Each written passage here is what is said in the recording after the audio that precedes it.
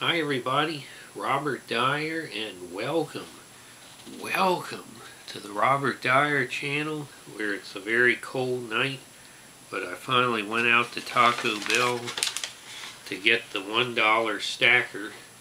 Welcome to the after party. Why didn't we get invitations to the real party?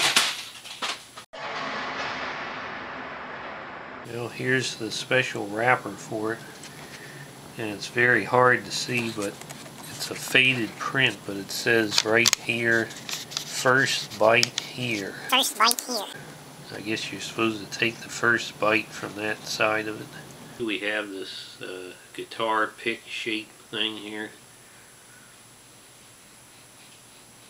The aroma is pretty much uh, like any other Taco Bell item virtually no hint of the uh, contents, just the hint of the tortilla. Let's go ahead and see how it tastes. And let's remember they said the bite here first. Bite here first.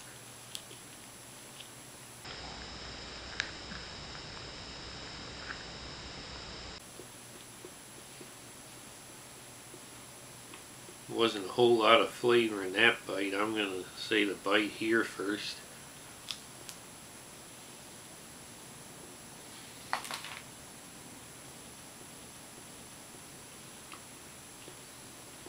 Now that bite did have an explosion of melted nacho cheese sauce.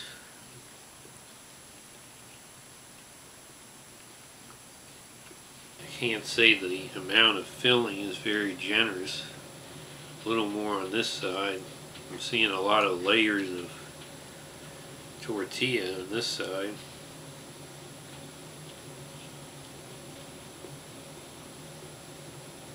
I count three levels in here and they have a the regular seasoned beef which I always like.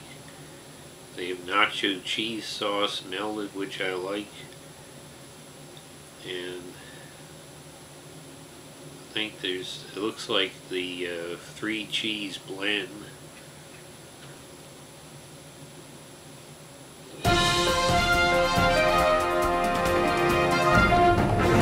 Special report. Special report. Humiliation for the Montgomery County Council. Humiliation for the Montgomery County Council. Discovery Communications is leaving Montgomery County making this the first Montgomery County Council to lose a Fortune 500 company. Hundreds of jobs will relocate to beautiful Knoxville, Tennessee, which happens to have no income tax, no estate tax, property taxes in Knoxville are half of what they are here. Most of what you pay there is just a 7% sales tax. Meanwhile, Montgomery County, under this council, has a record high taxes. The Montgomery County Council just had their briefcases handed to them by Knoxville, Tennessee, and they just got chomped by Chompy. Chomp by Chompy.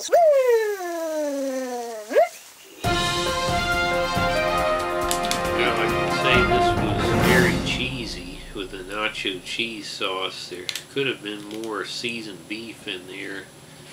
I think the main draw of this item is the is since it's more of a snack size, it's just the fact you're getting it for a dollar. It's certainly uh, disappointing in that there's nothing new about it and that there have been many Taco Bell test items that have yet to come to the rest of the country that are more exciting than this. So we really need some more exciting items rather than the same thing folded a different way.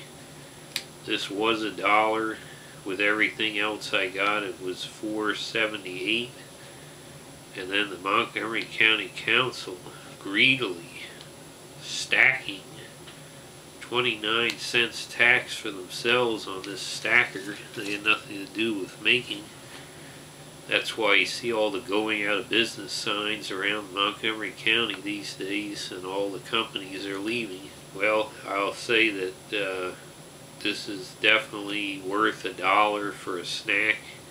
From a value standpoint, it would definitely be five stars. from an all-around standpoint, it's not quite as filling as a quesarito or something. Maybe a little more than the standard crunchy taco, but I'm going to go ahead and give this a solid three stars. It did what it promised, which was give you a value for a dollar with some very basic, repetitive Taco Bell ingredients. Hope you like this video. Share it with your friends.